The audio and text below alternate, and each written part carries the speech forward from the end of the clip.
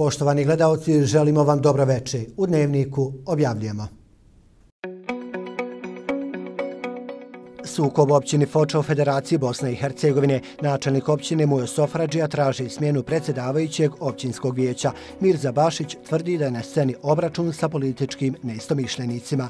Gradonačelnik Ernest Imamović poručuje da se nakon stavljanja van snage odluke o odlaganju komunalnog otpada na deponiji Šišeta radi na pripremi prijedloga nove odluke vezane za lokaciju Trešnica. Zbog respiratornih infekcija u dječji dispanzir Goražde dnevno se javlja i do stotinu pacijenata. Pedagoški zavod Bosansko-Podrinsko kantona Goražda u vrijeme zimskog raspusta organizuje brojne edukacije za sve sudionike u odgojno-obrazovnom procesu. Planirano 11 edukacija o aktualnim temama. Košarkaški klub Radnički krenuo sa pripremama za nastavak sezone, A1 Lige Federacije Bosne i Hercegovine roster ozbiljno pojačan. Sutra u Bosni i Hercegovini oblačno vrijeme sa kišom. Gledate dnevnik. Na 16. sjednici Gradsko vijeće Goražde stavilo je van snage odluku o određivanju lokacije za privremeno odlaganje čvrstog komunalnog otpada na području općine Goražde, koja je donijeta na trećoj vanrednoj sjednici vijeća daleke 2010. godine. Zaključcima su gradonačelnik i nadležne službe dobile zaduženja. Tražili smo pojašnjenja šta stavljanje van snage ove odluke znači u praksi. Sve o deponiji Šišeta je već odavno rečeno, ali na temelju novih odluka i zaključaka vijeća ponovo su na potezu gradonačelnik i službe. Prijedlog nove lokacije će biti Krešnica, ali sa tačnim kačevom na teritoriju 90 duma zemlje koju grad Koražda ima, građavinsku, okolninsku, urbanističku, pristupnu put u fazi e, radova koje smo imali prošle godine i ranije. Želimo poručiti federaciji, kantonu i svima da grad Goražda ima svu neophodnu dokumentaciju, ali evo, uz jedan KČ gdje ćemo trenutno odlagati otpad, a da ne ugorozimo postojeći deponi, napominjem da Svjetska banka direktno obrađuje svu dokumentaciju i dodijelit će sredstva, grant i kreditna sredstva u visinu 18 miliona kontil maraka. Vidim da je do strateškog značaja kantone, vlade i BPK u interesu da se riješi deponija, što mi je drago da prate projekte koje grad Goražde ranije inicira i prepoznaje koje je jedne gorućih tema da se i druge stance vas uključi, to jedino tako može završiti u cijelokupnom formatu. Podrazumijeva da na postojećoj deponi Šišeta nakon prijedla odluke nove lokacije više neće biti odlagano smeće, jer od dva zla moramo izabrati manje. Gradonačelnik je podsjetio na ekološke, zdravstvene i općenito probleme koje izaziva i kojima tek prijeti deponija Šišeta ukoliko se ne pristupi njenoj sanaciji, kao i na to da je kanton planirao pola miliona maraka za rješavanje ovog gorućeg problema koji ugrožava sve stanovnike. Sa projektom da proces prilagođavanja, zatvaranja te deponije se izvrši, projekat i predmet predračun radova će tačno pokazati koji je to iznos, koliko će još sredstava nedostajati. Radi se jednom složenom projektu koji je na teritoriji Bosne i Hercegovine riješen samo u nekoliko gradova, Zenci i Zenci, Zvorniku i pokušaj bio Lim, tako da je grad Goražde o, prošle godine jedino prepoznat da ima potrebnu dokumentaciju sve ono što je vlada federacija prepoznala, ali napominjem da nacrt budžeta u federaciji još nije donešen, a ne prijedlog budžeta, tako da tu na vremenskom periodu gubimo dosta. Na pitanje kada će se komunalni otpad početi odlagati na trešnjici gradonačelnik ističe da će prijedlog odluke biti pred vječnicima vrlo brzo. Načelnik općine Foča u Federaciji Bosne i Hercegovine Mujo Sofrađija sa još dva vječnika održao je danas preskonferenciju na kojoj je istakao kako neće učestvovati u radu općinskog vijeća sve dok je na poziciji predsjedavajući Mir Zabašić. Načelnik Sofrađija izričit je da je potrebno izvršiti smjenu predsjedavajućeg vijeća zbog kako je naglasio sukoba interesa i ostvarenja imovinske koristi u prethodnom periodu. S druge strane, Mirza Bašić ne namjerava odstupiti sa pozicije predsjedavajućeg. Ističe da je riječ o obračunu sa političkim neistomišljenicima te najavljuje pravnu bitku. Načelnik Sofrađeja neće učestvovati u radu općinskog vijeća sve dok je na funkciji predsjedavajućeg Mirza Bašić, što znači da bi se vrlo lako moglo desiti da se sjednice vijeća neće održavati u narednom periodu. Kao argument, Sofrađija navodi uzurpaciju imovine koja je u vlasništvu općine od strane predsjedavajućeg Bašića. Konkretan slučaj, znači kasarna u Ustikolni, ovaj, gdje se je dokazalo da firma od gospodina presjedavajućeg e, se nalazi direktno u kasarni bez ugovora, bez ne znam nija nekog odobrenja. E, pa imamo još slučaj korištenja javne površine 722, znači 914 kvadrata gdje se nalazi bašta od gospodina Bašića. Pa imamo slučaj, ne znam, nija parkinga koji se nalazi ispred njegovog restorana gdje je direktno, ne znam, prilikom donošenja odluke učestvovao u obaranju te odluke da bi parking koristio na nekakav besplatan način. Imamo korištenje, ne znam, opštske garaže, isto, ne znam, nija isto u proteklom periodu. Općina će poduzeti zakonske mjere kako bi se oslobodio prostor kasarne te raspisao javni poziv za ustupanje privrednom subjektu koji će ih koristiti u skladu sa zakonom. Postoji izrišta odluka opštskog vijeća, znači o načinu raspolaganja poslovnim prostorima i javnim površinama, gdje se i u jednom i u drugom slučaju znači nalaže javni poziv, a javni poziv ne, ne, u javnom pozivu ne možete preferirati nikoga, znači nego morate staviti javni poziv i onaj ko bude imao najbolje uslove, znači taj dobija javnu površinu i poslovne prostore. Konkretno u ovom slučaju, znači e, gospodin se nalazi, gospodinu je bilo dato, ne znam, jedan određeni period, evo da ispadnemo korektni, znači da napusti prostorije kako bi mi mogli raspisati javni poziv, ne znam i kako bi se moglo omogućiti ne samo njemu, nego i ostalim ljudima, građanima, firmama, poslovnim subjektima da učestvuju i da se prijavi da koriste te poslovne prostore. Koliko god je sudjelovon u ovim svim ti taj Baša ili svi drugi koji su tamo, toliko ja mislim da je tu problem mali i u sami službi koje su trebale da eventualno provode svoj posao da rade na način koji bi trebali da rade. Sve navode Sofrađe opovrgava Bašić. Tvrdi da je riječ o klasičnom političkom obračunu sa neistomišljenicima te najavljuje sudski spor protiv Sofrađe. Vidite, nije tačno da, eto, ko, bože moj, sami ušli bez ikakve dozvole, bili su ugovori, zna to gospodin načelnik dobro. Znači, opet govorim, sve su ovo neke političke igre s njegove strane.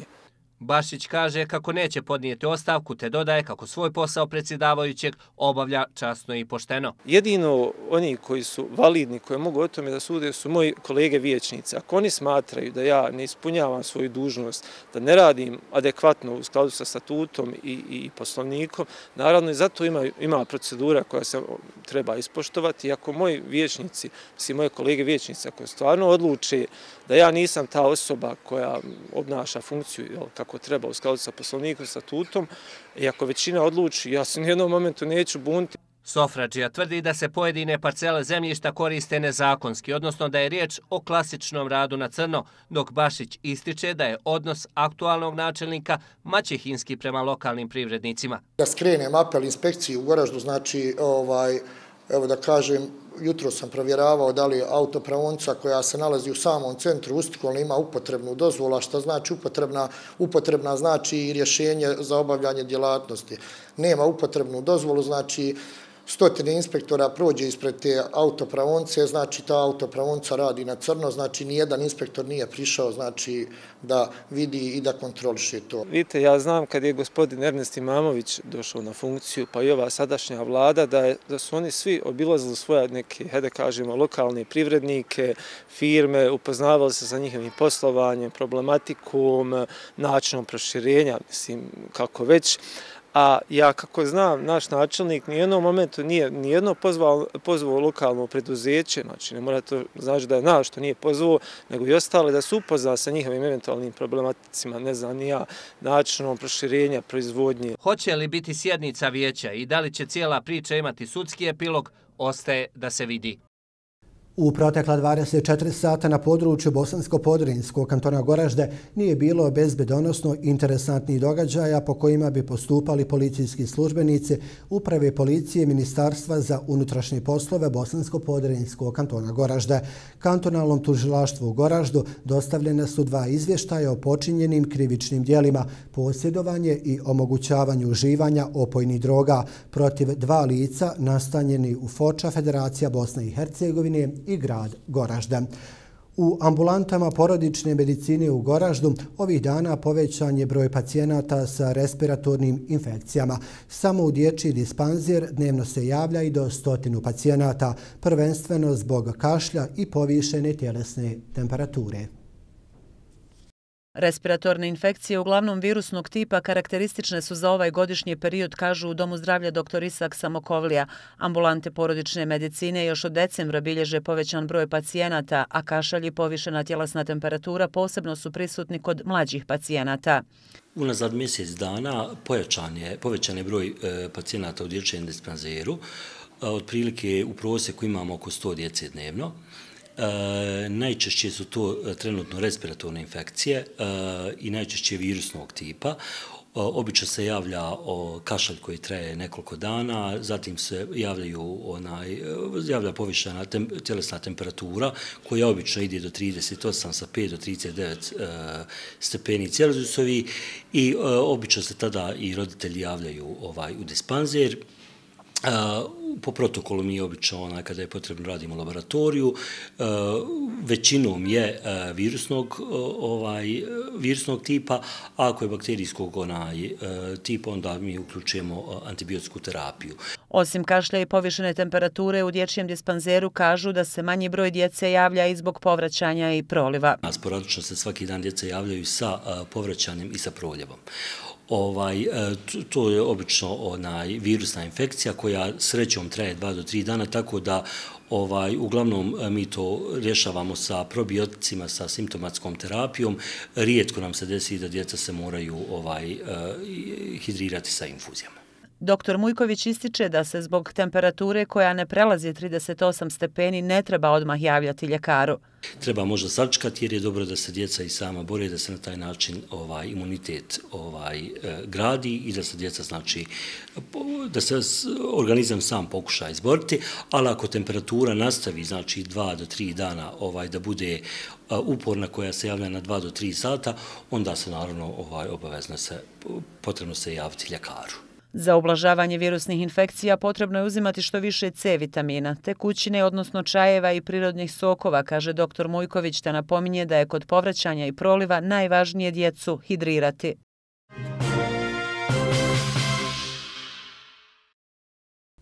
Sud Bosne i Hercegovine je nepravosnažnom presudom oslobodio Dragana Šojića, suspendovanog direktora službe za zajedničke poslove institucija Bosne i Hercegovine, optužbi za zloupotrebu položaja i lovlaste. Šojić je oslobođen optužbi da je u periodu od 2018. do 2022. godine na ime neosnovano isplaćenih plata, toplih obroka, goriva i servisiranja vozila pribavio sebi nezakonitu korist i da je oštetio budžet za 15.560 konvertibilnih maraka. Na ovu presudu je dozvoljena žalba. Od ostalih vijesti iz Bosne i Hercegovine izdvojili smo. Još uvijek 7 BH državljana i njihovi srodnika čeka na evakuaciju iz Gaze, potvrđeno iz Ministarstva vanjskih poslova Bosne i Hercegovine. Oni ne mogu preći granicu jer im to Izrael ne dopušta. Ambasador Bosne i Hercegovine u Izraelu, Duško Kovačević, je u kontaktu sa vlastima, međutim oni ne dozvoljavaju prelazak i ne kažu razloge za to. Istakli su iz Ministarstva vanjskih poslova. Kako naglašavaju, ne postoji nikakav problem vezano za eventualna neslaganja unutar vijeća ministara Bosne i Hercegovine. Nije poznato to kada bi se eventualna evakuacija mogla desiti i pretpostavlja se da je razlog za ovako postupanje procjene obavještajnih službi Izraela. U Bosni i Hercegovini zabilježen je porast broja razvedenih brakova. Tako je tokom prošle godine zabilježeno 1608 razvoda, 218 više nego 2022. godine. Podaci nisu optimistični ni kada se pogleda broj sklopljenih brakova, 12.780 prošle godine, što je manje za 265 u odnosu na 2022. Ukoliko se napravi poređenje sa 2017. godinom, broj sklopljenih brakova manje je za čak 7000. Također, već decenijama demografi upozoravaju da se konstantno bilježi negativan prirodan priraštaj. Prošle godine preminulo je 25.807 osoba, a rođeno je 18.344 bebe. Podaci su Agencije za statistiku Bosne i Hercegovine. Zbog svih ovih trendova smanjuje se broj stanovnika Bosne i Hercegovine.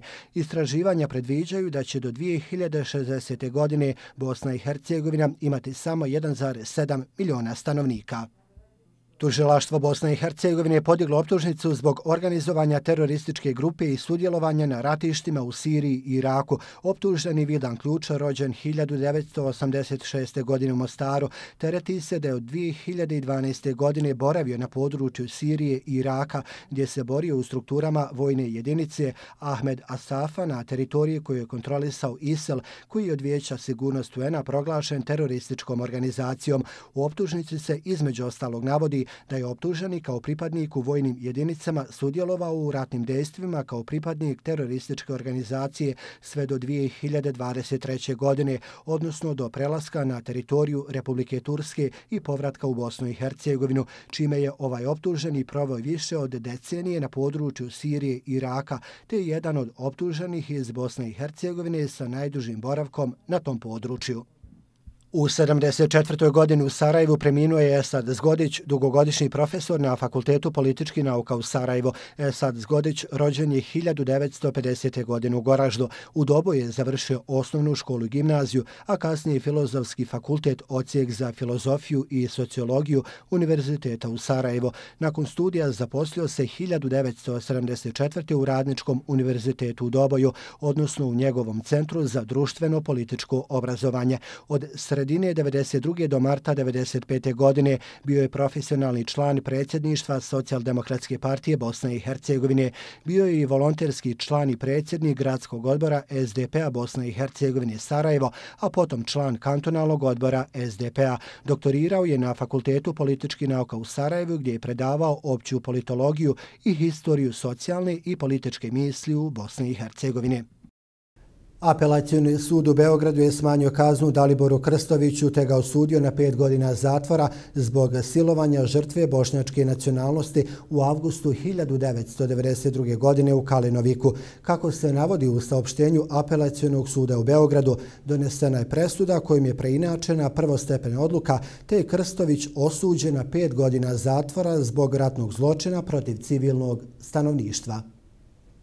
Optužen je oglašen krivim da je na teritoriji opštine Kalinovik neutvrđenog dana u toku mjeseca augusta 1992. godine u večernjim satima kao pripadnik Vojske Republike Srpske kršeći pravila međunarodnog prava izvršio silovanje svjedokinje bošnjačke nacionalnosti sa pseudonimom B1, navodi se u saopćenju apelacijonog suda. Prema saopćenju iskaz oštećene u kojem je detaljno pisala način na koji je optuženi kojeg je prepoznala kao unuka svojih bivših komšija postupao prema njoj tokom izvršenja krivičnog dijela kao i nakon silovanja uz prijetnju da nikome ne smije pričati o tome predstavlja jasno, precizno i nepromijenjeno svjedočanstvo o tome koju je silovao, iskaz oštećene kako se navodi potkrepljeni ostalim izjavama svjedoka i provedenim dokazima. Odlučujući drugi put o žalbe, apelacijani sud je prihvatio žalbene navode odbrane da je povrijeđeno načelo zabrane preinačavanja na štetu okrivljenog, te je morao da odluči svojom presudom prilikom odmjeravanja visine sankcije. Apelacijani sud je kod Krstovića cijenio olakšavajuće okolnosti među kojima je činjenica da je prilikom preduzimanja radnji i izvršenja imao 20 godina. Od otežavajućih okolnosti je cijenio iskazanu upornost tokom prinude na obljubu oštećene kao jačinu ugrožavanja oštećene konkretnom prilikom saopćeno iz Beogradskog apelacijonog suda. Viši sud u Beogradu je u februaru 2023. u ponovljenom postupku Krstovića osudio na 9 godina zatvora zbog zločina protiv civilnog stanovništva u Kalinoviku, a do kojeg je došlo nakon što je apelacijoni sud u Beogradu ukinuo prvostepenu presudu iz maja 2021. Na početku suđenja u januaru 2020. godine Krstović je odbacio optužbu optužbe. Rekao je da je bio policajac, ali da je u ljeto 1992. postao pripadnik Vojske Republike Srpske. Krstović je prvo bitno optužen u Bosni i Hercegovini 2017. godine, a predmet je potom predat srbijanskim vlastima. Na ovu presudu ne postoji mogućnost žalbe. Pedagoški zavod Bosansko-Podrinskog kantona Goražde u vrijeme zimskog raspusta i ove godine organizovat će brojne edukacije za sve sudionike u odgojno-obrazovnom procesu. Stručni predavači ove godine govorit će o aktualnim temama za koje vlada veliki interes nastavnika, kažu Pedagoškom zavodu ciljem unapređenja odgojno-obrazovnog sistema, Pedagoški zavod Bosansko-Podrinskog kantona Goražde organizuje i provodi edukacije i seminare za sve sudionike u odgojno-obrazovnom procesu. Plan i program edukacija koje će biti održane u narednim danima je utvrđen. Zaista je veliki interes nastavnika. U ovom trenutku imamo više od 380 prijava za obuke. Ono što želim da istaknem jeste da neke e, od edukacija organizujemo u saradnji sa našim partnerima. To su prije svega Save the Children, DVV International, e, zatim GT Institut kao naš novi partner. E, imamo Isto tako neke edukacije koje e, su finansirane iz, iz budžeta Ministarstva za obrazovanje mladi, nauku, kulturu i sport, a nastojimo da angažujemo e, eksperte za određene oblasti. Nastavnici su najveći interes izrazili za teme iz oblasti prevencije i postupanja u slučajevima nasilja tako da veliki broj e, nastavnika i stručnih saradnika će proći edukaciju koju provede dvije profesorce sa sveučilišta u Mostaru o tim temama. E, imamo i teme iz oblasti e, uvijek aktualnog rada sa djecom s teškoćama u razvoju, gdje nastojimo da ojačamo nastavnike, stručne saradnike i prvenstveno asistente u nastavi, da budu podrška djeci koja radi po individualiziranom odgojno-obrazovnom programu. Obuhvatili smo i obrazovanje odraslih, gdje imamo predavačicu sa, iz Beograda i Centra za obrazovanje odraslih. Isto tako sa Univerziteta Džemal Bjedić e, u Mostaru nam dolazi e, jedna profesorca koja će održati obuku za nastavnike biologije i hemije. Tokom zimskog raspusta planirano je 11 edukacija, kažu u Pedagoškom zavodu. Ono što želim zaista da istaknem jeste edukacija za nastavnike, masterklas za učenike osnovne muzičke škole gdje će nam e, Aleksandar Arsić i ja kažem naša Aida e, Mušanović-Arsić e, biti gosti predavači i zaista Smatramo da su to istaknuta imena u oblasti muzike i muzikologije i zaista se svim silama trudimo da ponudimo maksimalno kvalitetne obuke kako bismo postigli ono što je naš glavni cilj. U skladu s programom stručnog usavršavanja nastavnika, stručnih saradnika i odgajatelja, edukacije su obavezne, a prisustvo će biti vrednovano u skladu s pravilnikom o praćenju, ocjenjivanju rada i sticanju stručnih zvanja nastavnika. Prva u nizu edukacija planirana je za ponedjeljak 8. januara.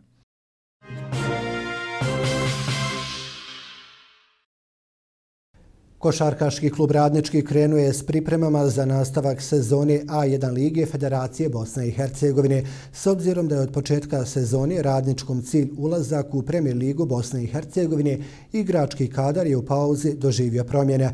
Tu su četiri nova igrača s kojim će izabranici trenera Hasana Rikala pokušati ostvariti zacrtani cilj i s novim pobjedama u grad na Drini na kraju sezone promovisati još jednog premijer Ligaša.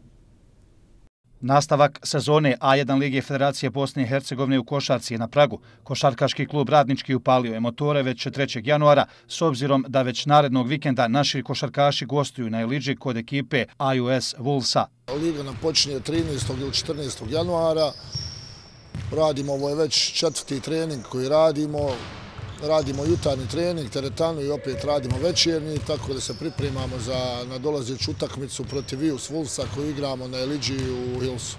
Rubrika Odlasci i dolasci u odnosu na polusezonu doživjela je promjene. Košarkaški klub Radnički u nastavak sezone ulazi znatno jači. Pa prvo nije tajna da, da su naše ambicije premijer liga i doveli smo pojačanja na kojima nam je najviše škripalo. Imamo dva visoka igrača, imamo dva beka, doveo smo jednog playmakera iz Amerike, Amerikanca, Kameruna Koplanda, vratili smo Amara Klačara iz Italije, naše dijete, doveo smo Edisa Kormana koji je bio u Eurokupu prošle godine u rosteru u Slasku iz Poljske i našeg starog igrača, Željko Tadić, visoki igrač, iskusni igrač koji će nam dati sigurnost u reketu i to je to što se tiče pojačanja. Pozicije playmakera i centra bila su deficitarne za ostvarenje cilja, no dolaskom Amara Klačara i Edesa Kormana roster radničkog obećava mnogo. Najviše me je povuklo zato što sam pričao sa trenerom Hasom, mojim starim trenerom, prvim trenerom, onaj, i tu je dobra ambicija da ova ekipa koja sada igra i koja je tu napadne premijer ligu Bosne i Hercegovine, uh, povuklo mi isto tako što ću se vratiti kući i biti bliže svojima. Naravno, isto je veliki tas koji je ovaj, pomogao na moju odluku, ali prvobitno je to sportski, rezultatski, da pomognem ekipi i da dođem tu, da dam sve od sebe, da Goražde se vrati na neku veću scenu košarkašku, ajmo reći. U Goražde sam došao jer e, čuo sam da kao, kao ekipa napreduju dosta, e, prvi su na tabeli. Moj prijatelj me je pozvao Bakir Pilav tu, pitao me da li sam zainteresovan. Trenutno sam tad bio bez kluba, ovaj, čuo sam se sa trenerom, e, dogovorili smo se, ekipa me je prihvatila jako, jako dobro, svi su tu dobri. E, ne znam, nadam se da, da, da, da ću ići nivo iznad ovoga. Bio sam i nivo iznad, ali eto, Božemo, kako je, tako je. Sezona A1 Lige Federacije Bosne i Hercegovine nastavlja se narednog vikenda. Dodajemo i to da će košarkaši Radničkog svoju prvu domaću utakmicu na novom parkijetu Gradske dvorane odigrati za 14 dana protiv ekipe košarkaškog kluba Bošnjak Hadžić. Poštovani gledalci, pratili ste dnevnik televizije Goražde. Hvala na pažnji i do gledanja.